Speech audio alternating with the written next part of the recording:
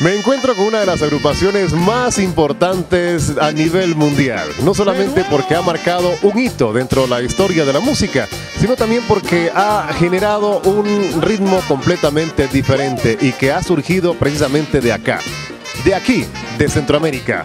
Señoras y señores, ¿saben quién llegó? Banda Bueno, ya hablando en materia de entrevista, pues díganme cuántos años tiene Banda Blanca de Honduras. Banda Blanca surge en el año de 1970 en San Pedro Sula, la costa norte de nuestro país. Eh, surge con el nombre de Mente Sana, después con el nombre de Garzas Blancas y posteriormente ahora estamos con el nombre de Banda Blanca. Son 37 años que tiene Banda Blanca y esperamos seguir llevándole nuestra música para que todos ustedes la disfruten y la compartan con nosotros. 37 años de música, 37 años de éxitos, 37 años de bregar en la farándula. ¿Cuántos éxitos lleva ya Banda Blanca de Honduras? Son muchos, la verdad que son muchos. Eh, iniciamos con Juanita Morel, Aurora, El Comelón, Sope Caracol, Fiesta, Swing Latino, Banana, en fin, tantos éxitos que nos han dado pues la vuelta al mundo completamente. Ha sido tal el éxito de Banda Blanca de Honduras que han recorrido infinidad de países. Y yo creo que lo importante de todo ello es que la música se ha quedado, ha llegado para quedarse y de eso también merece llamarse clásicos. ¿En qué países ha sonado, está sonando y seguirá sonando Banda Blanca de Honduras? Bueno, en el norte, centro y Sudamérica eh, nuestra música pues sigue sonando y eh, recientemente pues estuvimos en Seúl y también parte del Caribe, nuestra música todavía está sonando en los países. La vida de los artistas está llena, está plagada de muchísimas experiencias buenas y malas. No solamente se puede correr sobre pétalos de rosas o sobre espinas. En ocasiones pues hay anécdotas buenas y malas. ¿Qué nos puedes contar sobre esto? De las buenas recordamos mucho lo de Viña del Mar. Un público fabuloso.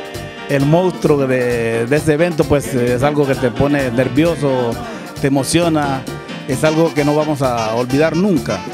Y de las malas, pues eh, una mala experiencia que llevamos en nuestro país, en San Pedro Sula, Honduras, cuando, nos decoraron hijos predilectos de la ciudad y la gente volcó el escenario y la tarima se fue al piso y nos caímos todos, pero gracias a Dios todos salimos bien. Dentro de la escala piramidal hacia la cúspide, se dice que primero viene el éxito, luego viene la fama y por consecuencia lógica la fortuna. A ver, ¿cuántos premios ha obtenido Banda Blanca de Honduras? Bueno, son muchos. Uno de ellos es haber sido nominado cuatro veces como Grupo Revelación del Premio Lo Nuestro. Y tenemos también Aplauso 91, 92. También tenemos eh, la Gaviota de, de Oro, y también en Colombia nos, dieron el Congo de Oro. Así que son infinidad de premios y, y, vamos a seguir ganando premios. Cuando una agrupación como Banda Blanca de Honduras llega a consagrarse como institución, el nombre persiste, pero las personas que lo integran van cambiando. ¿Cuál es la nueva imagen de Banda Blanca de Honduras? Hemos hecho cambios, pero siempre hemos mantenido la base, o sea, la parte rítmica y, parte armónica. Pero sí han habido cambios en las voces y como toda institución que tiene cambios para que esto continúe y el nombre de Dios persista.